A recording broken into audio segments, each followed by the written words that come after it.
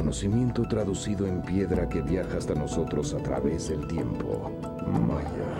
El profundo conocimiento de la vida y de la muerte. Maya. Piedra de luz y secretos. Memoria de una sabiduría milenaria. Maya. La más asombrosa reunión de sus huellas eternas. Una exposición sin precedentes. Televisa, una ventana de nuestra cultura.